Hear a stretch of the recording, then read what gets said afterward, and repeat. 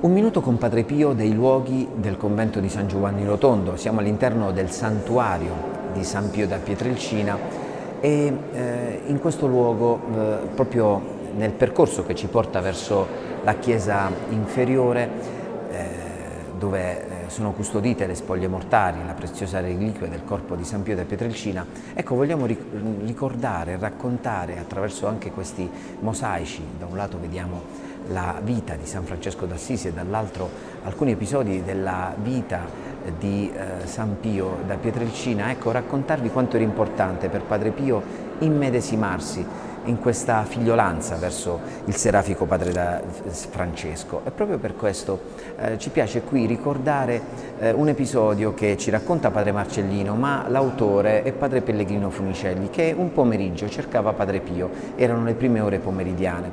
E lo trova, lui racconta, eh, con un figlio spirituale, Antonio, un professore di matematica stava colloquiando non, normalmente su tutto quello che accadeva nella sfera familiare di Antonio. Ecco, non era una confessione, ma era un colloquio. Chiaramente il discorso si interruppe nel momento in cui arrivò Padre Pellegrino, ma Padre Pellegrino continuò a conversare anche con Padre Pio ed Antonio. Infatti fu proprio Padre Pio che dopo aver scambiato qualche battuta con padre Pellegrino disse beh cosa stavamo dicendo Antonio? E subito Antonio riprende il discorso. Vado sul virgolettato. Padre stavamo dicendo che io e i miei familiari osserviamo non solo tutti i comandamenti della legge di Dio ma anche i precetti della Chiesa l'obbligo della messa festiva.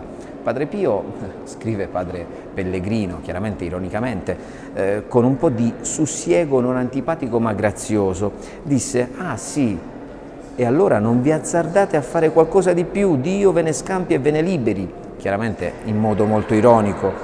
Poi eh, Padre Pio eh, aggiunse, non mi meraviglio perché vi conosco bene, eh, sempre e solo lo stretto necessario per rimanere nei limiti della legge, guardatevi dagli eccessi alle opere buone, altrimenti potreste anche ammalarvi di cuore quindi, o di nervi. E quindi qui Padre Pio continua ancora nell'ironia Beh, sorpreso da queste parole eh, contro eh, gli ostinati risparmiatori di energie intellettuali, scrive padre Pellegrino, Antonio si ammutolisce e non parla più.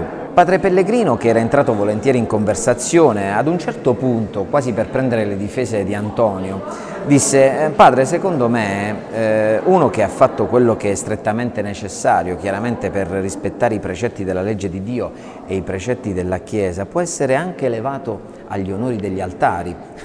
Padre Pio ebbe come un attimo di smarrimento o di disappunto forse, ma si dominò e ancora continuò a fare l'ironico, disse con la buona salute, eh, auguri allora padre Pellegrino.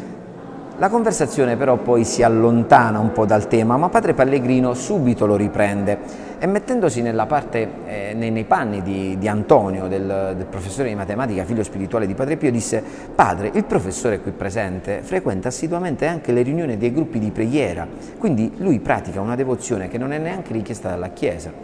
E subito Padre Pio va, si fa serio e precisa.